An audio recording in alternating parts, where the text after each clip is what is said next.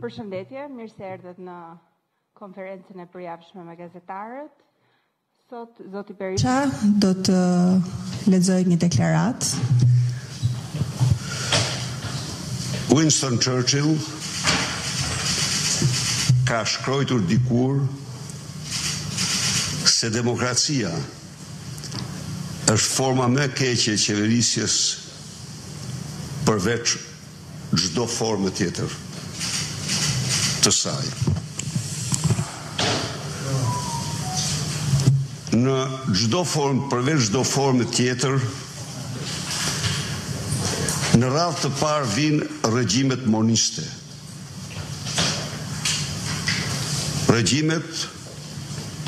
në të cilat një parti kap të gjitha pushtetet, regjimet të cilat një ideologji shndërrohet në ideologji shtetërore, regjimet të cilat një besim fetar, shndërrohet në themelet të një shteti në teokraci.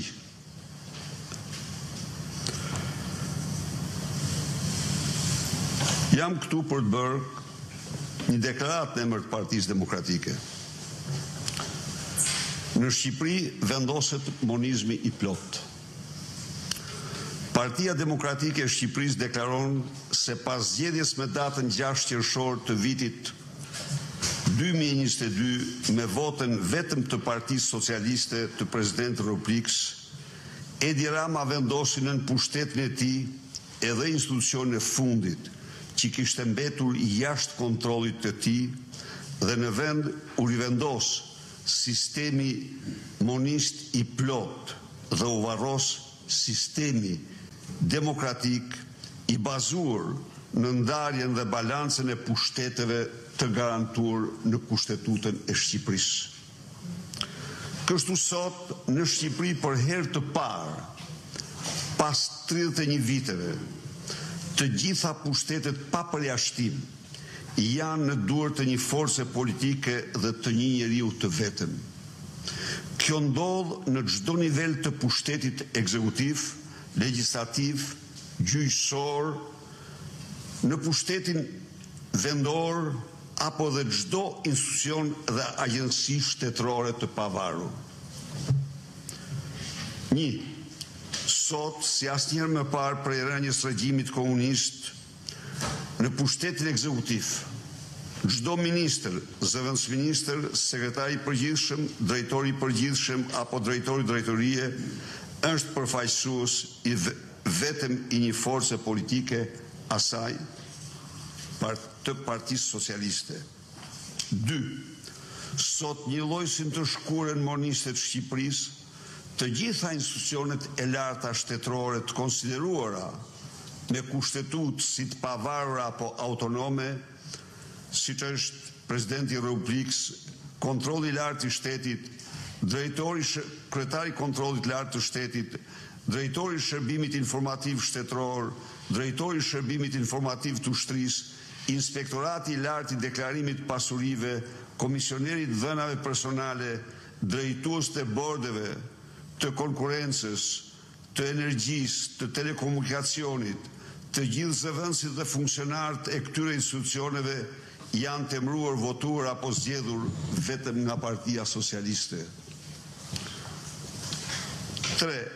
Sot në këtë shtet monist si kurrë më parë, të gjithë kryetarët e institucioneve institucioneve më të larta të drejtësisë, si kryetari i Këshillit të Lartë të Gjyqësorit, Inspektorati i Lartë i Drejt Inspektori i Lartë i Drejtësisë, Kryetari i Këshillit të Lartë të Prokurorisë, Kryetari i Komisionit të Posaçëm të Kualifikimit, Kryetari i Komisionit të Posaçëm të Apelimit, Kreu i Prokurorisë së Përgjithshme, Kreu i Prokurorisë Speciale, të gjithë gjykatësit e Gjykatës së Lartë, çdo gjykatës i Gjykatës Kushtetuese përpos njërit që nuk i ka mbaruar ende mandati, janë të përzgjedhur dhe emëruar nga mazhoranca e Partisë Socialiste. Kurrë ndonjëherë që nga diktatura e Enver Hoxhës një kontroll i tillë total partiak mbi drejtësinë shqiptare nuk ka ekzistuar. Sot në Shqipëri, Të gjithë drejtuesit e komisioneve parlamentare, të gjithë drejtuesit e delegacioneve parlamentare janë deputetë të Partisë Socialiste në tërësi dhe në raste të veçanta të veglave të saj basho-opozitarëve. Pesë. Sot në Shqipëri, për shkak të bojkotit të opozitës të zgjedhjeve vendore të vitit dy mijë e nëntëmbëdhjetë, i gjithë pushteti vendor, kryetarët e bashkive dhe këshilltarët vendorë janë të Partisë Socialiste. Sot në Shqipërinë moniste, të gjitha organizatat, joqeveritare përpos një numri te të kufizuar, kontrollohen totalisht nga qeveria dhe rrjetet e sponsorizuara dhe të lidhura me Xhorxh Soros.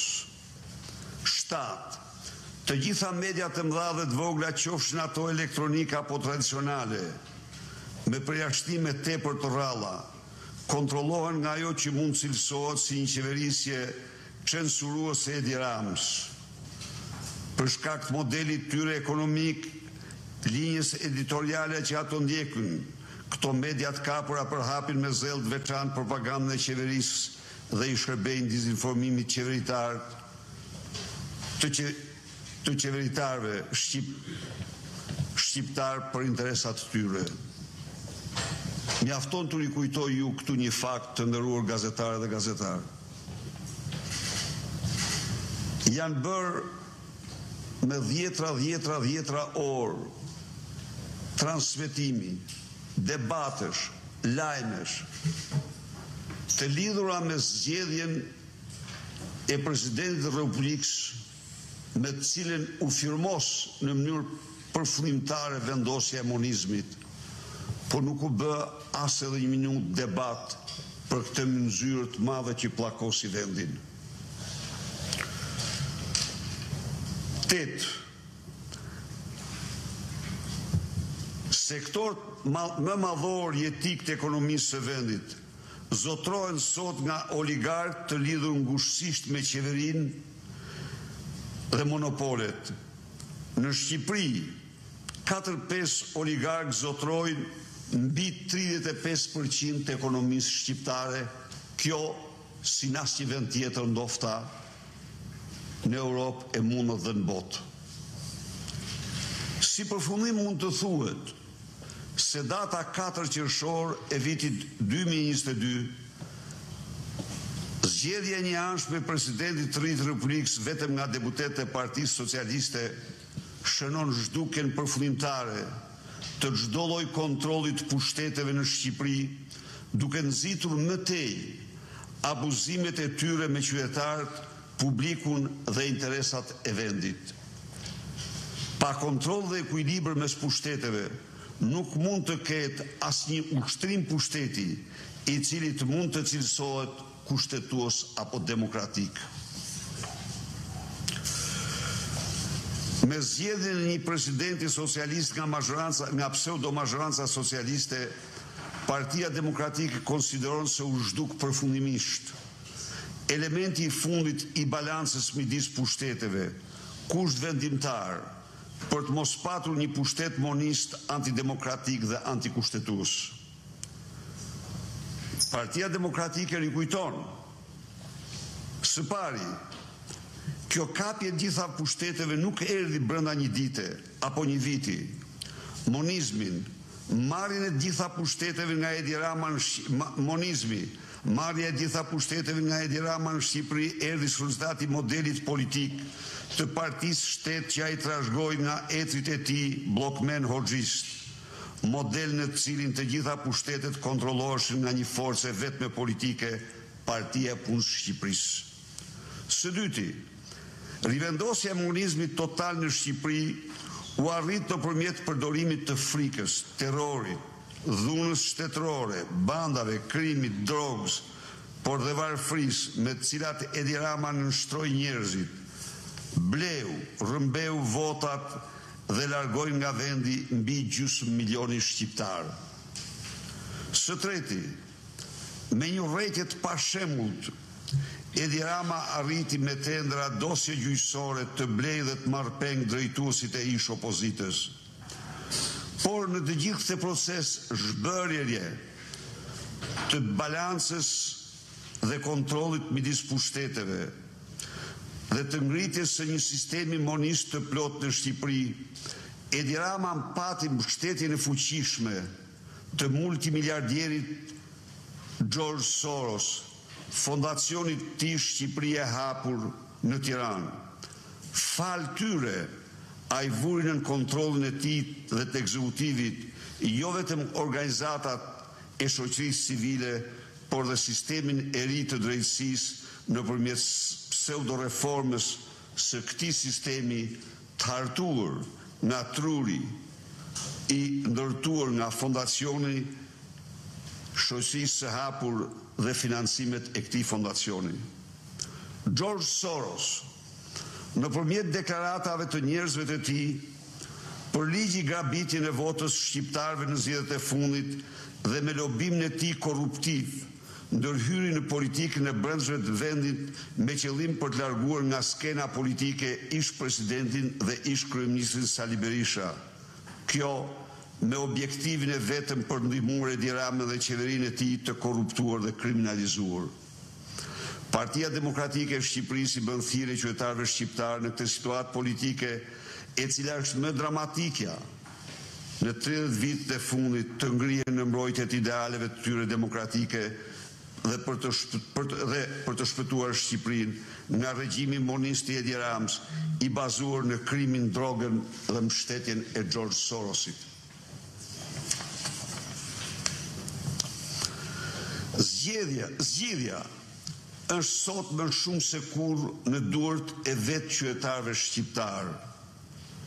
të atyre të cilët e duan këtë vend, konsiderojnë lirinë dhe dinjitetin e qytetarëve shqiptarë si premisen më jetike për zhvillimin e tyre dhe të vendit të tyre.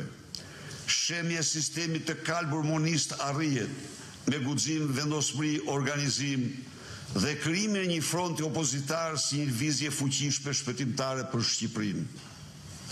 Në këtë kontekst, Partia Demokratike konsideron jetike krijimin në këtë moment kritik të një fronti opozitar për shpëtimin e Shqipërisë të përbërë nga të gjitha forcat politike të vërteta opozitare, shoqëria civile, personalitete e individë kundërshtarë të regjimit, grupe interesi sindikatat, rrethi akademik, të gatshëm për t'u përballur me regjimin monist të Edi Ramës.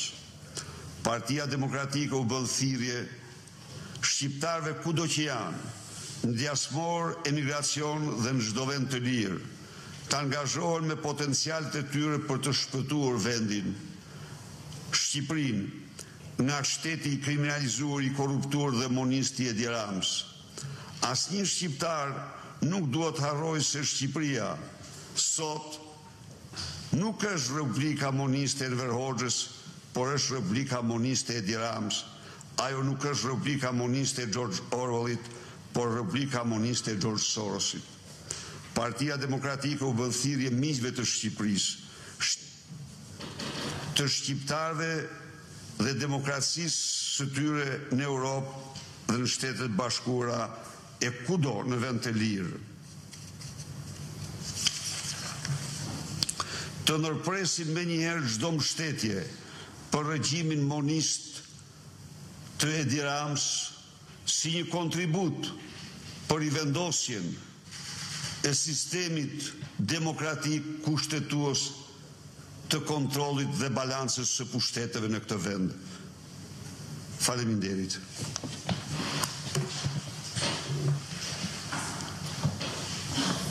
Zoti Berisha Lusi përgjigje nga Fax News, A ndiheni i izoluar ndërkombëtarisht kur pas SHBA-së edhe Gjermania dhe Britania e Madhe është distancuar nga ju? I referohem këtu edhe festës që u mbajt nga Ambasada Britanike për shtatëdhjetë vjetorin e mbretërimit të Elizabeth, ku ju ishin ndër të vetmit politikanë që nuk u ftuat, po ashtu edhe deklaratave të deputetit të CDU, Peter Beyer, i cili është shprehur se nuk e imagjinon një bashkëpunim me person të shpallur non grata. Këtë betejë Sali Berisha nuk e ka nisur. me asnjë përkrahje të askujt përveç shqiptarëve. Ju garantoj se çdo ditë ndjehem më i motivuar se kurrë nga mbështetja e shqiptarëve. Më i motivuar se kurrë nga mbështetja e shqiptarëve. Ky është, ju besoj jeni dëshmitarë të kësaj. Jeni dëshmitarë të kësaj. Zoti Berisha. Ardit Hoxha, Euronews Albania. Gjatë seancës së djeshme, në mesin e debateve që u zhvilluat me kryeministrin Rama dhe me funksionarë të tjerë të Partisë Socialiste, në një moment juve keni akuzuar zotin Taulant Balla duke i thënë atij se për ngjarjet e Elbasanit para zgjedhjeve të njëzet e pesë prillit, Ju keni fakte dhe prova dhe përgjime që e implikojnë atë drejtpërsëdrejti. Nëse i keni këto prova dhe fakte, për të cilat juve deklaruat dje, pse nuk i keni bërë publike apo pse nuk i keni depozituar në prokurori? Dhe nëse këto. E drejtë pyetja. T'i përgjigjem. Provat dhe faktet, Sali Berisha nuk flet pa prova dhe fakte. Dhe besoj se. Koha ka faktuar në mënyrën më të përsëritur, një. Së dyti, ju garantoj se do t'ia them në sy në Parlament. Të lutem. Jo, një vit s'kanë kaluar. Nexhbedin, Nuredin Dumani ka disa javë që ka fillu të flasë, apo jo? Po. A po më pyet për gjëra konkrete? Unë po të flas tani për gjëra konkrete. Deklarata politike janë deklaratat politike, po deklarata me gjëra konkrete janë konkrete. Dhe unë ju them ju dhe shqiptarëve që do t'ia them në parlament. Them në parlament. Së treti, nuk ka nevojë t'ia jap unë prokurorisë, se prokuroria i ka të gjitha në dosje. Kështu që kjo ti mund të thuash pse po i fsheh prokuroria, pse s'vepron prokuroria, kjo është punë tjetër. Po ato që do t'ia them edhe në parlament, prokuroria i ka në dosje. Do të dhe do t'i them dhe shumë më të tjera. S'ka më Mund ta tregoni një pjesë të vogël të pyetjes? Jo, e kam parlamentin, besoj se është normale kjo që unë t'ia them në parlament, në sy në sy. Kjo është gjithçka, më kupton apo jo? Se është më, mund t'ia them dhe këtu, po më komode kur e ke aty në ballë, përpara, përballë. Dhe dhe plot gjëra tjera. Atij dhe cilitdo. Nuk ka opozitë vërtet. Nuk ka më kështu që Çdo gjë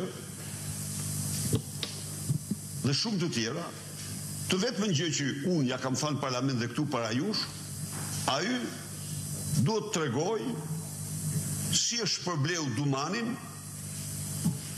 për ta shplarë nga akti i vendosjes së revoles, sepse tani me Shtojca, Atë zoti i garazhit përsëri dëshmoi, po pse nuk shkoni ju njëherë t'i takoni ata? Është jashtëzakonisht e rëndësishme t'i takoni ju ata, më kupton. Ata tregojnë që po revolën e ka vendosur. Në një vend, domethënë dyshojnë tek ky, sepse ky u ka kërkuar të marrin pjesë në fushatën e tij elektorale. Dhe ai ka thënë jo, nuk marr pjesë në fushatën elektorale. Nuk bëj fushatë për ty unë. Nuk jam unë i majtë, nuk bëj fushatë për ty. Dhe ku ja kanë vendosur revolën, thoni ju? Në një vend që E shifnin të gjithë që shkoi policia ta kap edhe ky është aspekti tjetër i turpshëm ata mbahen në burg akoma sot për revolën e fshehur të vendosur në një vend ku e shihnin të gjithë Pesë vetë janë në burg për këtë. Kjo është drejtësi qesharake, është drejtësi kriminale në në, në shumë aspekte, më thotë. Jo. Edhe kuptohet që revolën ja kanë vendosë. Po si do fshihte kush në një vend të dukshëm një revole krimi? A, a ka a ka logjikë njerëzore që e pranon këtë? se e pas kanë zor me gjetë një revole ata dhe s'mund ta hidhte në Shkumbin ai atë. Pra kjo ishte për t'i inkriminuar se ky nuk pranoi të bëjë fushatë për te. Megjithatë, megjithatë, drejtësia vonon, por nuk harron. Jo. Kështu që Tao nuk e ka punën mirë. Ka probleme me drejtësinë dhe do ketë, do ketë, ja u them unë ju. Po. Dhe ka dhe, tje, dhe probleme tjera ai, dhe njëherë.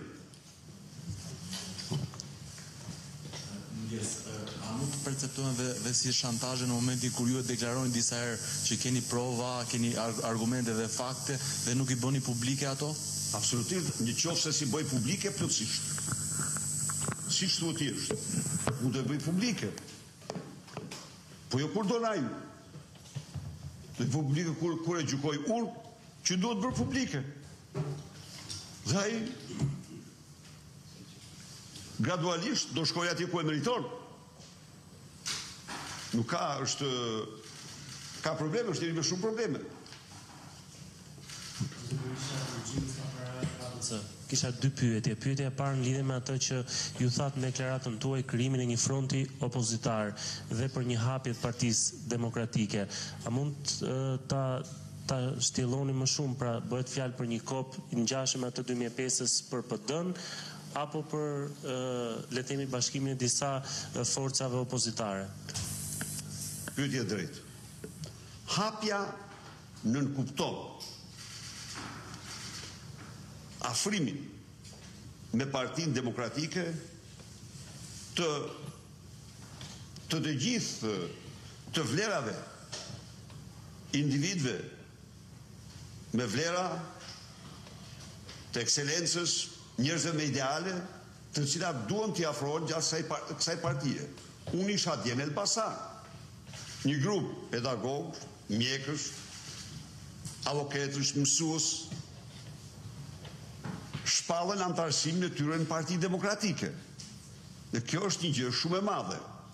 Përveç kësaj, po në kuadrin e hapjes, një grup të rinjsh ishte aty, në kuadrin e hapjes, tani do të ngrihen bordet kombëtare në të cilën ne do sipas fushave, bordet kombëtare sipas fushave, në të cilën ne do përpiqemi të tërheqim personalitetet më të shquara, më më më të ditura të atyre fushave shqiptarë brenda dhe jashtë vendit.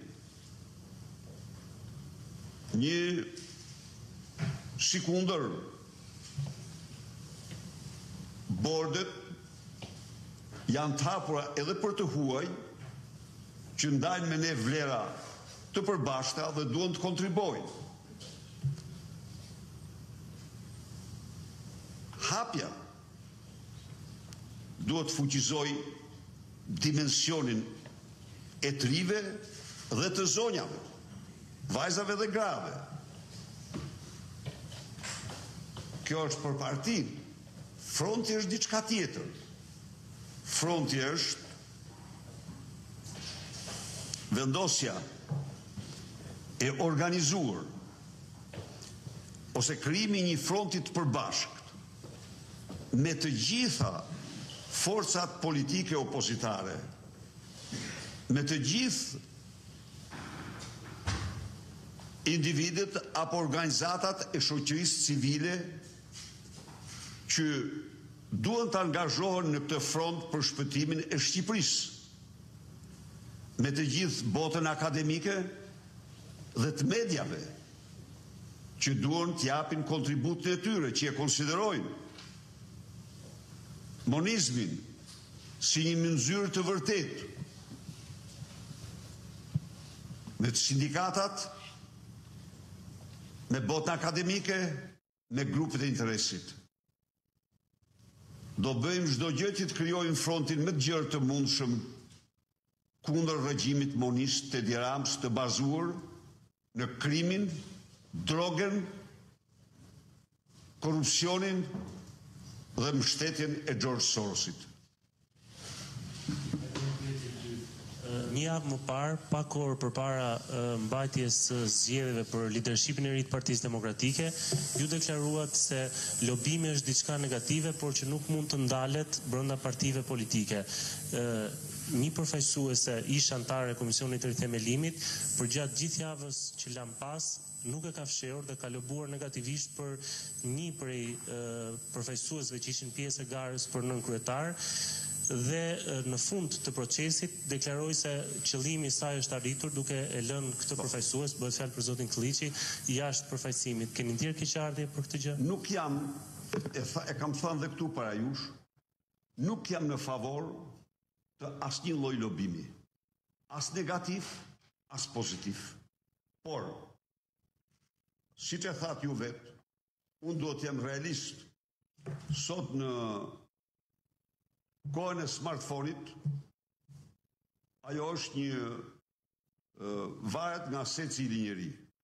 Për sa i përket zotit Këlliçi, unë kam konsi ju garantoj ju se e konsideroj një bashkëpunëtor shumë të çmuar të Sali Berishës dhe një njeri që ka dhanë një kontribut të veçantë në të gjithë ecurinë e Partisë Demokratike në në në në përpjekjen e Partisë Demokratike për rithemelim gjer ditën e sotme. Pra, kjo është konsiderata ime për Belind Këlliçin. Nuk jam për asnjë lloj lobimi, sikundër sqaroj me këtë rast se Evi Kokalari ka kontributin e saj të padiskutueshëm të çmuar, por ajo vendosi vetë që të mos kandidojë dhe të tërhiqet në jetën e saj, të ndjekë karrierën e saj në partinë, me sa di unë, domethënë nëse edhe kështu është, në Partinë Republikane. Zoti Berisha, ju këto ditë jeni artikuluar në publik për nisjen e protestave. Keni ndonjë plan konkret kur mund të nisin këto protesta? Unë jam i vonuar, shumë i vonuar në artikulimin tim, mbasi zemrat e njerëzve po ziejnë. Revolta në shpirtin dhe zemrat e njerëzve po zien anë e kënd vendit. Dhe jua kam thënë njëherë, po jua përsëris prapë. Lëvizjet janë shumë interesante. Nganjëherë i udhëheq ti, u prin, herë të tjera të udhëheqin ato. Jua them ju që kërkesa për protestë është universale sot. universale dhe Partia Demokratike është e vonuar. Pra e kemi i kemi grupet, i kemi qytetarët, i kemi anëtarësinë, i kemi grupet e interesit, janë të gjithë para nesh. Dhe ne s'ka asnjë diskutim që do zbatojmë, do, do, do, do, do jemi në lartësinë e detyrimeve tona ndaj tyre. Ju flisni për një bashkim, një front të partive opozitare apo të organizatave të ndryshme kundër qeverisë, por ndërkohë që partia në fakt vijon të mos jetë e bashkuar. Ndoshta deri dje fajsonim zotin Basha apo zotin Alibeaj për përçarjen e Partisë Demokratike, por sot ju jeni kryetari i partisë dhe keni përgjegjësi për situatën që ndodhet Partia Demokratike. Çfarë është bërë në këtë drejtim? A keni negociata, a keni diskutuar me deputetë që mendojnë ndryshe nga ju? Veglat e Edi Ramës janë në shërbim të Edi Ramës. Siç bën lojën e neveritshme të presidentit në funksion të imazhit të tij dhe të Edi Ramës, marrin përsipër të keqpërdoren dhe keqfrytëzohen për komisionet e reformave të Edi Ramës. Ne do bashkohemi me të gjithë ata të cilët janë për të shpëtuar Shqipërinë nga ky regjim monist, i bazuar në krimin, vjedhjen, drogën dhe mbështetjen e Xhorxh Sorosit.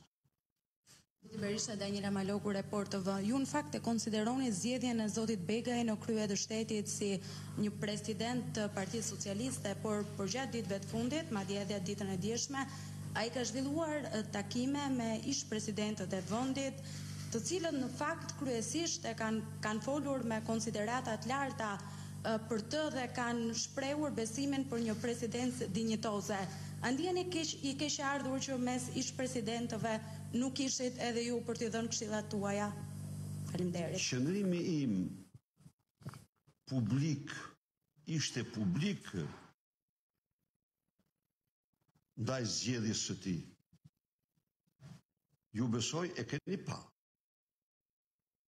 Dhe e konsideroj normale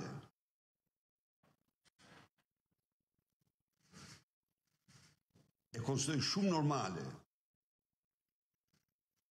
ai nuk kërkon këshilla nga unë se nuk do merrte atë këshillë që i pëlqente sepse ai u bë zgjedhja e tij u shndërrua në firmosjen e regjimit monist në Shqipëri. Ai vërtet mori postin e presidentit për vete. Po për shqiptarët monizmi është një një një mynxyrë. Unë e kam një problem këtu. Se absolutisht që të gjithë ju që ju kam këtu përpara s'keni jetuar një ditë në sistem monist. Dhe Jo nuk keni jetuar. Urdo? Anisa. Po sa vjeç ke qenë Anisa në atë kohë? Po lëre. Po prapë ja se ç'është ajo. Kur fillon pra dhe tani mos kujtoni se nuk e mendoj unë me veten time. Problemi është se ajo forcë politike e cila ka qenë dhe duhet të ishte më aktivja në përmbysje të këtij sistemi, ajo forcë, nuk është forcë shoqërore, që është rinia, nuk ka përjetuar monizmin. Por unë kam besim se në aftësitë e saj për të lexuar, për të mësuar dhe për të pa se çfarë mënxyre është ajo për çdo komb. Shqipëria sot është identike me Bjellorusinë e Lukashenkos. Identike. Është mënxyrë se Vet, vet kushtetutshmëria është një shtyllë kryesore e demokracisë. Parimet e saj pastaj, check and balance, në parim themelor, u zhdukën si askund tjetër, kur s'ka qenë kjo situatë, përveç në kohën e Enver Hoxhës dhe të Ramiz Alisë, diktaturës. Ndaj dhe unë prapë dua një dialog me të rinjtë sepse mobilizimi i dhe angazhimi i të rinjve në këtë betejë është kusht sine qua non për fitoren e saj.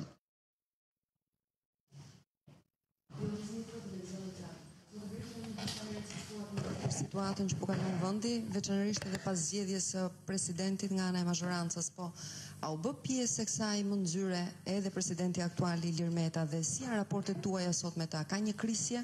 Pyetja e parë. Nuk ka krisje. Presidenti, unë e kam theksuar tani dhe të jem transparent. Kushtetuta e Shqipërisë në germë nuk ndalon. Firmosjen e dekreteve jashtë vendi. Nuk ka një një përkufizim të tillë. Por raste unë di që nuk ndodhin, do kjo që kam pretenduar. Tani të themi të vërtetën. Presidenti mund të mos e firmoste raundin e katërt, ta digjte, po të pestin nuk e digjte dot. duhet të ushtronte detyrimin e tij kushtetues. Ai duhet të shtetuar ta ushtrojë. Se pastaj ë ndërhyjnë mekanizma të tjera aty kur ka tani s'ka më mekanizma. Po kur kishte një check and balance ndërhynin mekanizma të tjerë. dhe ai nuk mund të mos ushtronte detyrimin e tij kushtetues të të zhdegradimit të nxjerrjes në lirim të shefit shtabit të përgjithshëm, rast unik në historinë e vendeve të lira. S'ka ndodhur kurrë. Nuk ka ndodhur kurrë që të marrish një ushtarak aktiv dhe ta emërosh president Republike, unë ju garantoj që përveçse në rastin e juntave nuk ka ndodhur ndonjëherë. Por, nuk mund të ipte. Presidenti është i detyruar të, të përmbushë detyrimet e tij kushtetuese. protesta me qytetarët, zoti Berisha? Shpresoj edhe më parë. Qytetarët e kanë të vështirë të presin gjer në shtator. Oh. Panorama. Dje zoti Bardhi ju ka akuzuar se keni urdhëruar deputetët që të mos firmosin ose të mos japin votën për ngritjen e një komisioni hetimor për investime strategjike. Është e vërtetë kjo? Të besosh trillimet e Gazman Bashës është njëlloj si të besosh Lulzim Bashën. Njëlloj. Njëlloj. Asnjë iniciativë nuk nuk bllokojmë ne, por mund t'ju them se Ali Basha dhe Gaz Basha po i shërbejnë me besnikëri të neveritshme Edi Ramës. Ja u them unë ju. Dhe të jeni të sigurt, mbani mend këtë që po u them. Nuk, nuk do jetë e largë dita kur do të kuptohen arsyet si për atë që iku edhe për këta të dy. Edhe për këta të dy. Po, me të qetë, avash avash. Se çfarë i shtynë këta.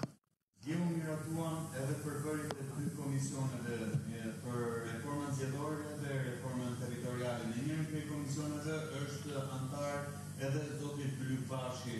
A do të marrë pjesë cili Ne nuk marrim pjesë në farsa të organizuar nga Edi Rama dhe të keqfrymëzuarit e tij opozitar ose pseudo-opozita, nuk marrin pjesë. Jo. Zoti Berisha, Ermal Qori nga Syri Televizion. Ju nesër në orën dymbëdhjetë do të zhvilloni një takim me drejtuesit e degëve.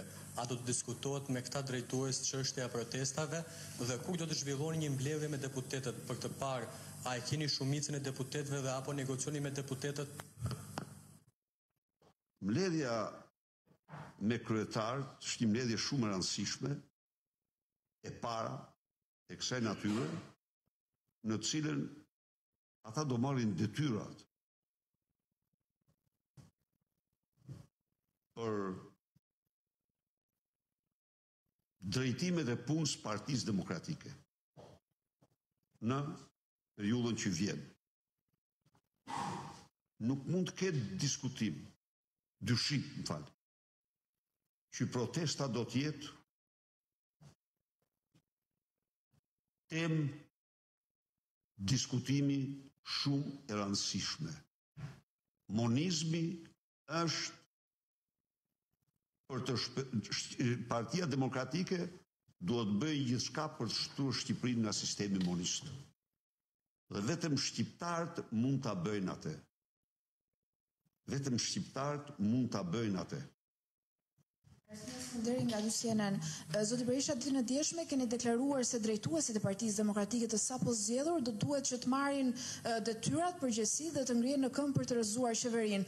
Po në nivel qendror, a ka Partia Demokratike ditën e sotme një qeveri le të themi nën hije që t'i bëjë ballë kësaj qeverie?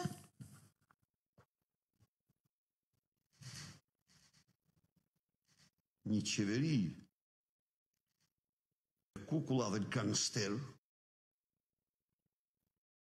të cilët, siç keni pa ju në aferën e incineratorëve, siç keni pa ju në Titujt e investitorëve strategjikë që plaçkitin si lubi, ministrat që plaçkisin buxhetin, pronat publike, ju e morët vesh ç'ka ndodh me çfarë ka ndodhur me fondet e tërmetit. Për të për të shmangur procedurat transparente të cilat imponojnë donatorët, imponojnë donatorët, Edi Rama ka lanë me një anë kreditë e buta të ofruara prej tyre. Dhe ka marrë kredi tregtare në mënyrën më të papërgjegjshme, me të cilat takspaguesit shqiptarë vetëm nga interesat e këtyre, vetëm nga interesat e këtyre, paguajnë 130 milion euro më shumë. Por, po jua ilustroj me një shembull. Bypassi i Fierit është ndërtuar nga dy banka, Banka Europiane e Investimit dhe Banka Europiane e Zhvillimit, ose autostrada Levan Vlorë, po nga këto banka. Ajo ka kushtuar Një pikë tetë milion euro kilometri, shkoni shifeni, janë rrugët më të gjëra të Shqipërisë, të dyja, më të gjëra, kundrejt 20-22 milion euro që kushton rindërtimi një kilometri në unazën e Tiranës. Po kështu, Në qoftë se një shkollë do ndërtohej me fondet e donatorëve, ka një standard. Shkolla me fondet e shkolla në standardet e Bashkimit Europian kushton pesëqind gjer në gjashtëqind mijë euro. Shkolla në standardet e kleptokratëve shqiptarë shkon 2.5-3 milion euro. Prandaj edhe nuk mund të marrim fondet që na afrohen si kredi e butë, por shkojmë dhe vrapojmë fonde me, me, me interesa tregtarë, me të cilat, me të cilat,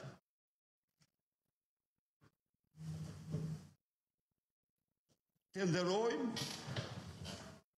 duke nda dy të herë shumën me ndërtuesin.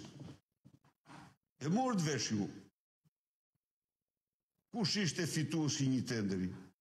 E dhanë media dje, një trafikant i dënuar i dalë nga, një, më fal, i dënuar për korrupsion i dalë nga burgu në vitin 2018.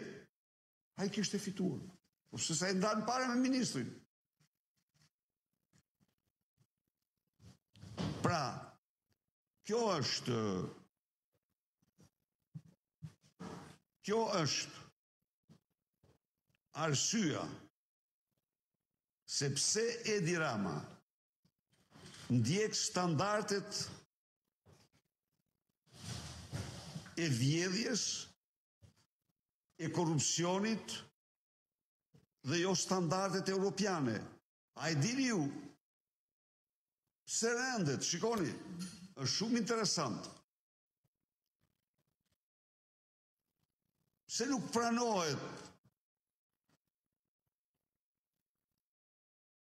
tregu i hapur rajonal i propozuar nga Bashkimi Europian? Pse nuk pranohet? Duhet ta shtroni pyetjen vetes ju. Nuk pranohet se modeli modeli i këtij tregu është model në të cilin fitojnë të gjithë. Kurse modeli i tregut të Ballkanit të hapur është model që fiton Serbia. Unë kam ndjek shumë shkrimet këtu dhe në Kosovë, po përshtypje më ka bërë që janë shkrujt qindra qindra shkrime dhe këta njerëz nuk kanë pa një nen të veçantë të këtij traktati. Keni pa ju ndonjë nen të botuar të këtij traktati? A e dini ju që në fillim në Novi Sad, tha janë 700 faqe, tha Vuçiçi ky traktat. 700 faqe. Është publikuar kund ky apo jo? Keni pa ju një nen të tij apo jo? Unë jam kundër tij, sepse është absolutisht antishqiptar, përgjersa Kosovën e trajton në mënyrë të pabarabartë. Kjo mjafton për mua. Politikisht unë jam kundër, po jam kundër ekonomikisht gjithashtu. Jo se jam kundër tregtisë së lirë, përkundrazi, Por tregtia e lirë edhe bashkim edhe Bashkimi Europian për hir të së vërtetës edhe departamenti i shtetit e ka theksuar që duhet të bëhet me standarde europiane. Cilat janë standardet europiane? Standardet europiane janë kuotat. Janë kuotat. Sa mollë prodhon Korça? Kaq. Atëherë unë do i mbroj këto mollë. Sa qumësht prodhoj unë, kaq. Pra, gjithçka rregullohet me kuota. Kurse me Edi Ramën vasal i Vuçiçit, vetëm 4 muaj Serbia ka eksportuar produkte bujqësore në Shqipëri dyfishin, e eksportit të Shqipërisë në Serbi, 48 për qind është rritja dhe po të heqim rieksportet që ka bërë Shqipëria, del edhe shumë më ulët. Kush është këtu viktimë? Viktimë janë fermerët. Shkoni nëpër fshatra dhe është shumë e rëndësishme që të, të bëheni zëri i tyre, ata detyrohen të therin lopë të racës. Ata detyrohen të mbyllin serat. Ja u them unë. Detyrohen të mbyllin serat. Dhe ky me një injorancë të pakufishme rreh gjoksin se u rriten eksport, çfarë eksport u rriten? U rriten çmimet. U rriten çmimet. Kjo po. Çmimet, çmimet janë shndërruar në faktorin më kryesor të varfrimit të shpejtë në këtë periudhë. Të pasurimit të oligarkëve të qeverisë, ju e morët vesh. Në qoftë se më parë merrte te veshët 31 lekë, sot merr 55 lekë për litër naftë qeveria. Ku do t'ia dijë ajo për, për, për qytetarët? Fare. Prandaj qytetarët duhet të flasin. Në qoftë se qeverisë nuk ia ndjen për qytetarët, atyre duhet t'ia ndjejë për veten e tyre.